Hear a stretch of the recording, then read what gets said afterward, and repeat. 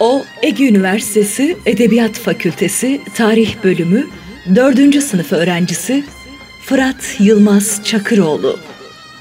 O vatana can, bayrağa kan veren, ülkücü şehitler zincirinde bir halka.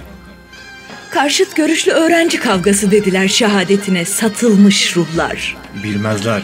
Fıratlar bir ölecek, bin doğacaklar. Bilmezler. Dalgalandıkça al bayrak, Fıratlar nefes alacaklar.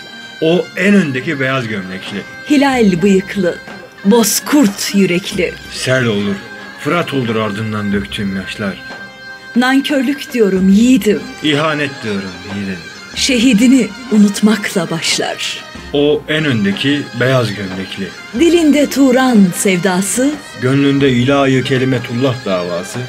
O henüz 24 yaşında bir yiğittir. Bilseniz ne olur, bilmeseniz ne. Melekler şahittir.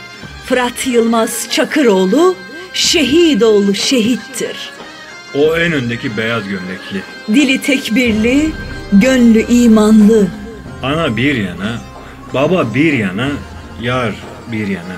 O vatana sevdalı. Şimdi bilin ki ey gafiller, Türk'ün bu yurt, Türk'ün kalacak. Fırat yılmayacak, daha coşkun akacak. Mevzu bahis olunca vatan, Tarih okuyan Fıratlar, tarih yazacaklar.